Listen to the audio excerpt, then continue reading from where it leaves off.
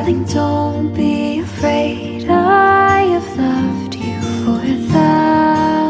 thousand